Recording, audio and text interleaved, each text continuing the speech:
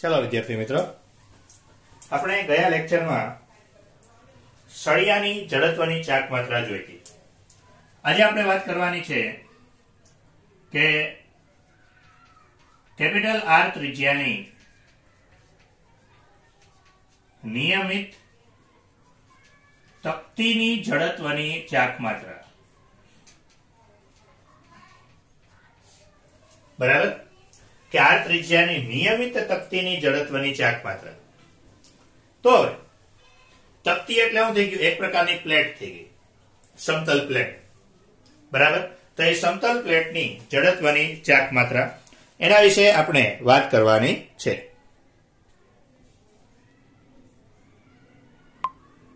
બરાબર? તો,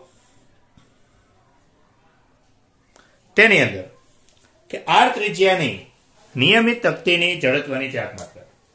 હવે આગળ જેમ વાત કરી હતી ગયા લેક્ચરની અંદર, તો તમારે આની અંદર પણ કોન્સેપ્ટ એ જ પકડવાનો છે કે પહેલા આપણે શું કરશું કે જે પદાર્થ હશે એ પદાર્થને ઘણા બધા ખંડોમાં વિભાજિત કરી દઈશું કોઈ પણ એક ખંડ માટે જડત્વની ચાક માત્રા ગોતી લેશું, પછી એનું સંકલન કરશું. કોન્સેપ્ટ તમારે એનો એ જ રાખવાનો છે. ખાલી ફરક એટલો પડશે કે દરેક પદાર્થની અંદર જે ખંડ ધારવાના છે, ખંડ ધારવાની રીત અલગ અલગ હશે. બરાબર? એટલો ફરક પડે. હવે તકતી માટે વાત કરીએ. તો કે આર ત્રિજ્યાની તકતી.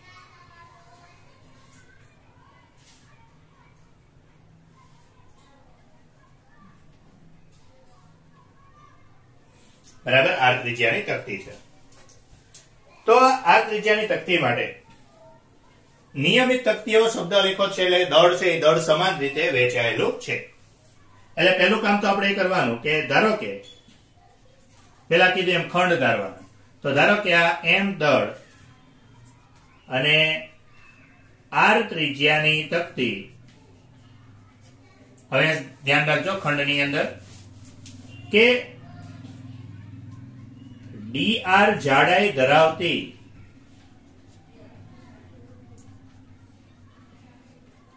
અનેક રીંગોની બનેલી છે.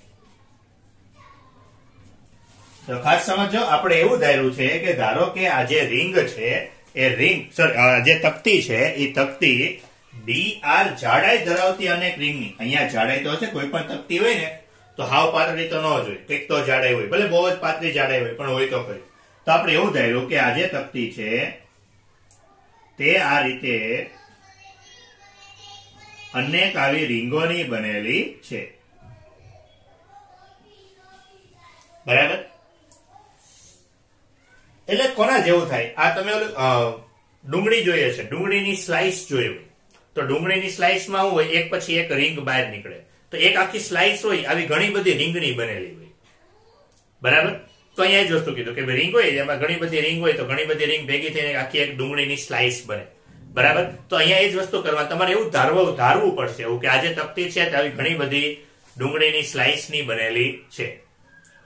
તો જ્યારે તમે આવું ધારો ત્યારે, તમને એક વસ્તુ ખબર પડે કે ભાઈ દરેક સ્લાઇસની આવી દરેક રિંગ હશે, દરેક રિંગની ત્રિજ્યા અલગ હોય સૌથી બહારની રિંગ કાઢશો તો મોટી હોય કોઈ નાની હોય, એની કરતા નાની, એની કરતા નાની હોય. ધારો કે આપણે કોઈ પણ એક ખંડ લઈએ, જેનું કેન્દ્રથી અંતર આર છે. તો પહેલી વસ્તુ તો આપણે આનું દળ શોધવું પડશે. હજુ આજે અલગ અલગ ખંડ ધાર્યા છે. તો ખંડનો આકાર કેવો? જો મેં કીધું તેમ બધાની અંદર અલગ અલગ રીતે ધારવું પડે. આમ સીધા ભાગ પાડી તો ન હાલે. બરાબર? બધામાં અલગ અલગ ધારવું પડે. તો કાંદાની સ્લાઇસ કાંદાની સ્લાઇસ નો આકાર. તો એક વસ્તુ સમજો, કાંદાની સ્લાઇસ તમે લ્યો તો કાંદાની સ્લાઇસ નો આકાર કેવો આવે? કંઈક આ પ્રકારનો આવે. આ વચ્ચે બધું ખાલી હોય. સોરી કાંદાની એક રિંગ લ્યો સ્લાઇસ એટલે એક રિંગ લ્યો. તો વચ્ચે ખાલી એટલે આ ખરેખર એનો આકાર કેવો થયો? તો એનો આકાર નળાકાર થયો. આકાર કેવો થઈ ગયો? નળાકાર. તો નળાકારનો ક્ષેત્રફળ એટલે ટુ પાય આર એચ. તો ટુ પાય આર એચ એટલે શું થશે? તો એચ એટલે એની જાડાઈ. કારણ કે જેટલી પણ કાંદાની એક સ્લાઇસ હોય સ્લાઇસમાં જેટલી રિંગ હશે, તો બધી જ રિંગની જાડાઈ તો સરખી જ હોય. એટલે આપણે શું ધાર્યું? બધી રિંગની જાડાઈ સરખી છે, પરંતુ બધી રિંગની ત્રિજ્યા જુદી જુદી છે.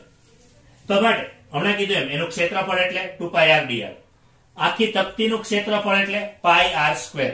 વર્તુળ થઈ ગયું. કારણ કે આખી તકતીની વાત કરું ત્યારે હું જાડાઈને અવગણી શકું.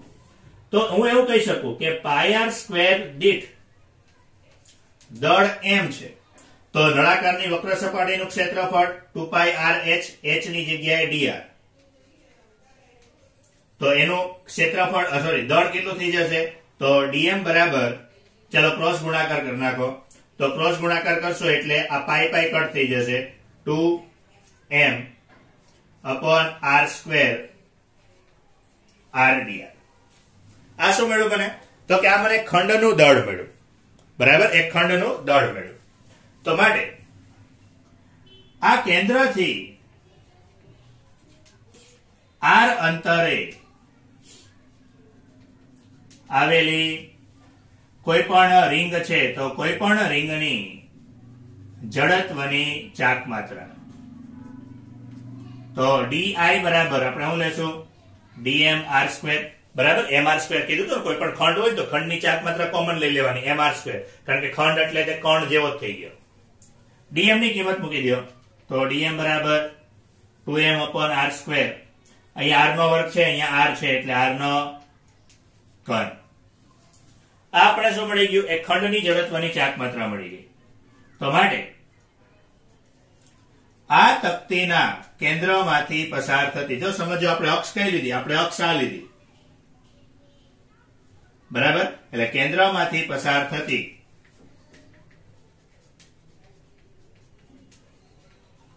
અને તેના સમતલને લંબ. લંબ અક્ષને અનુલક્ષીને ચડતવાની ચાક માત્રા એનો અર્થ થઈ ગયો? આપણે આ ચાક માત્રા જે અહીંયા છેલ્લે સૂત્ર મળશે, એ ક્યારે વાપરવાનું? જ્યારે કોઈ પણ તકતી હોય તકતી એના કેન્દ્રને અનુલક્ષીને ભ્રમણ કરતી હોય ત્યારે ચક્ર હોય ને કૃષ્ણનું ચક્ર, તો કૃષ્ણનું ચક્ર જે રીતે ફરતું હોય, એવી રીતે ફરતું હોય, ત્યારે તમારે અહીંયા જે આપણે સૂત્ર મેળવશું, એ સૂત્ર તમારે વાપરવાનું. ચાલો એને આઈસી લેવાનું. તો આઈસી બરાબર કીધું એમ. શું કરશું? આનું સંકલન. બધેમાં આ તો નિયમ કોમન તો ડીઆઈ બરાબર. શું મેળવ્યું? ડીઆઈ બરાબર. આ two m upon r square છે, એ તો અચળ છે, એને બહાર લઈ લઈએ. Two m upon r square અંદર શું વધ્યું આર નો ઘન ડીઆર આરની ત્રણ ઘાત છે, તો એનું સંકલન કરશો એટલે આરની ચાર ઘાત છેદમાં ચાર upper limit minus lower limit મૂકો. તો ગમે ત્યારે સંકલન આવે એટલે ધ્યાન રાખવાનું, સંકલન કોની સાપેક્ષે છે? તો સંકલન ત્રિજ્યાની સાપેક્ષે છે. ત્રિજ્યા, તો ભાઈ આખા તકતીની ત્રિજ્યા કેટલી છે? તો આખી તકતીની ત્રિજ્યા કેપિટલ આર છે.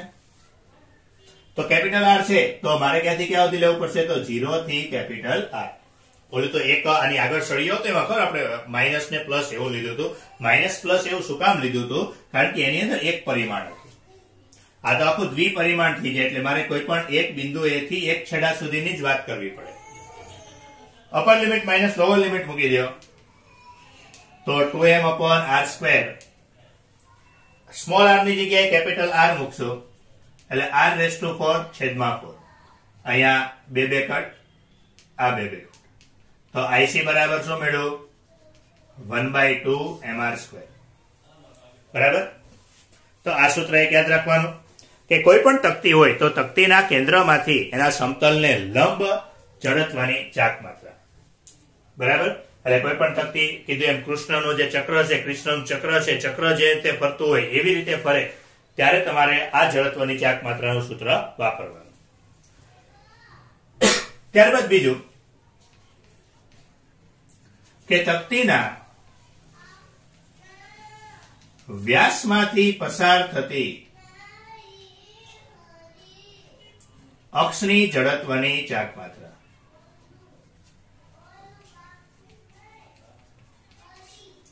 કે તકતીના વ્યાસમાંથી પસાર થતી અક્ષને અનુલક્ષીને જડત્વની ચાકમાં બરાબર? તો તકતીના વ્યાસમાંથી પસાર થતી, હવે એના માટે આપણે શું કરવાનું? તો ફરીથી આ જ કોન્સેપ્ટ લઈએ. બરાબર? કે જે આ તકતી છે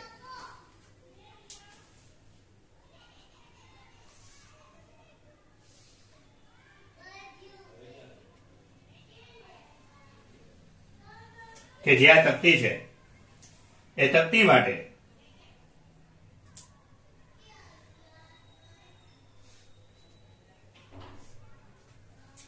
એને આ જે છે, આ અક્ષ. તો આ અક્ષ તો કઈ થઈ? તો આ અક્ષ તો હમણાં આપણે કીધું એમ, એના કેન્દ્રમાંથી પસાર થતી સમતલને લંબ. એટલે આ જે આઈસી છે છે. પછી આને હું આઈ એક્સ કહી દઉં, આને આઈ વાય કહી દઉં તો આઈ એક્સ તો ક્યાંથી પસાર થશે? તો આઈ એક્સ એ તકતીના વ્યાસમાંથી પસાર થશે.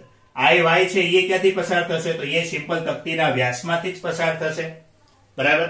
તો એનો અર્થ એમ થાય છે, તમારી પાસે લંબ અક્ષના પ્રમેયનું સૂત્ર છે. આપણી પાસે બે સૂત્ર હતા, સમાંતર અક્ષનો પ્રમેય અને લંબ અક્ષનો પ્રમેય. તો આના પરથી કે લંબ અક્ષના પ્રમેય પ્રમાણે આપણે શું કહી શકીએ કે આઈ ઝેડ બરાબર I X plus I Y પરંતુ આઈ એક્સ અને આઈવાય છે ને તો સમાન હશે. શું કામ સમાન હશે? કારણ કે બંને બંને વ્યાસમાંથી જ પસાર થાય છે.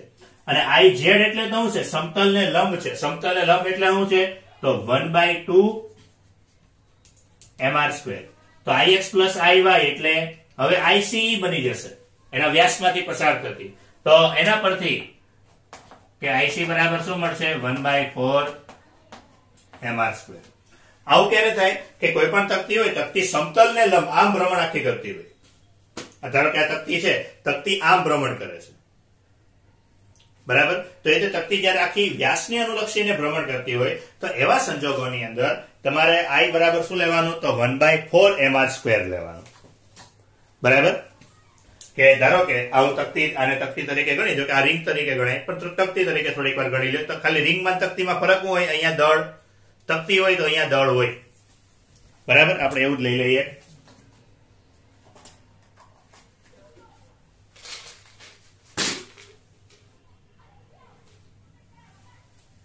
તો આ ઢાકણું છે. ઢાકને થોડીક વાર તકતી તરીકે લઈ લો હા આ તકતી કે આ જે તકતી છે, એ તકતી જો આમ ફરતી હોય, આમ. આમ. બરાબર? તકતી જો આમ ફરતી હોય તો એને તમારે આ સૂત્ર લેવાનું. પછી જો તકતી આમ ફરતી હોય, અહીંયા વચ્ચે અક્ષ હોય, અને આમ ફરતી હોય. શું કામ? કારણ કે આમ ફરે છે તકતી, તો એની અક્ષ ક્યાં થાય? એની અક્ષ અહીંયા થાય. આ આંગળી છે, અહીંયા અક્ષ થાય. આને અનુ, આ આંગળીને અનુલક્ષીને આમ ફરે છે. એટલે એ અક્ષ ક્યાંથી પસાર થાય? એની વ્યાસમાંથી. પછી આમ ફરતી હોય આમ. બરાબર? આ રીતે. કે આ રીતે આમ ફરતી હોય. તો અહીં અક્ષ ક્યાં હોય? અહીંયા વચ્ચે હોય. એને અનુલક્ષીને આમ ફરે છે. તો એવા સંજોગોની અંદર કે જ્યારે કોઈ પણ તકતી છે, એ તકતી કઈ રીતે ફરે છે? બરાબર? એના આધારે તમારે આઈ લેવાનો કે જો કેન્દ્રમાંથી પસાર થતી સમતલને લંબ હોય તો one by two m square લેવાનો, નહીતર one by four m square લેવાનો. જરૂરી તો નથી કે હંમેશા બે કન્ડિશન જ હોય, ત્રીજી કન્ડિશન હોય. કે ધારો કે તકતીના સમતલને લંબ અને એના એક જ છેડાથી છેડાને અનુલક્ષીને જડત્વની ચાક માત્રા.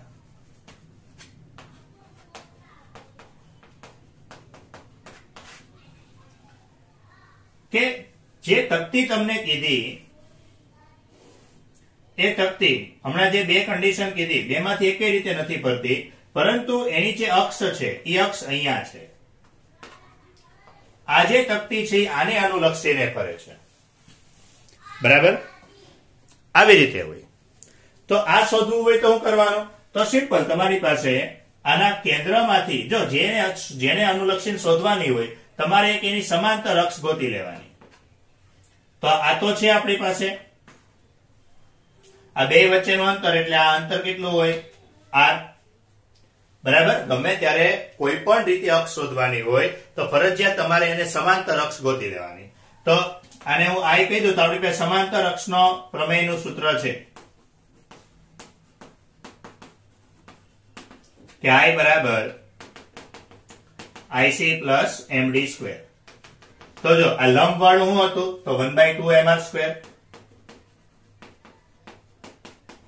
d એટલે શું હતું? બે અક્ષ વચ્ચેનું અંતર. એટલે r square one by two plus one એટલે three by two m r square બરાબર? એટલે આવી રીતે ધારો કે કોઈ પણ તકતી એના છેડાને અનુલક્ષીને ભ્રમણ કરતી હોય, તો શું લેવાનું? Three by two M R square ત્યારબાદ કોઈ પણ તકતીના સમતલને સમાંતર તેના છેડામાંથી પસાર થતી અક્ષને અનુલક્ષીને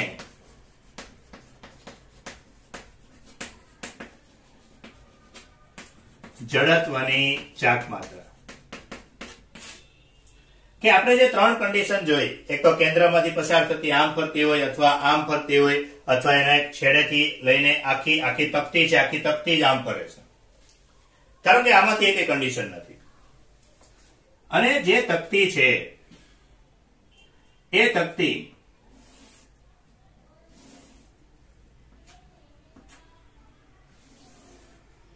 જે અક્ષ છે એની, ઈ અક્ષ અહીંયા છે.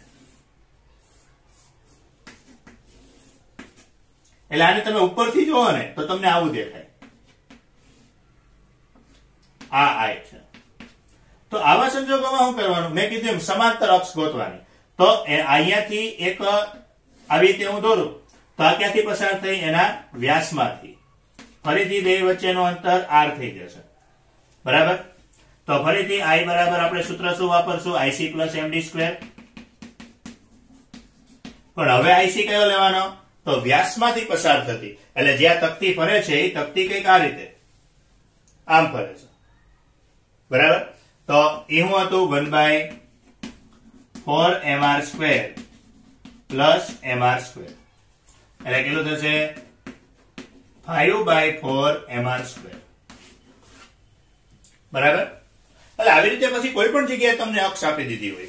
આ ચાર રીત તમને કરાવી. એ એની ઓકે બેઝિક રીત કહેવાય. બાકી કોઈ પણ રીતે જગ્યાએ તમને અક્ષ આપી હોય બરાબર તમને ધારો કે એવું કહી દીધું હોય કે તકતી છે, તકતી આને અનુલક્ષીને ભ્રમણ કરે છે. છેડે નથી, વચ્ચે નથી. તો તમારે એને સમાંતર ગોતી લેવાની. સમાંતર હું થાય છે? પછી આ અંતર તમને આપ્યું હોય, એટલે પછી તમારે આ સૂત્ર વાપરી દેવાનું. કોઈ પણ રીતે અક્ષ આપ્યો. તમારે શું ગોતવાનું થશે, તો તમારે હંમેશા એને એક સમાંતર અક્ષ ગોતવાની.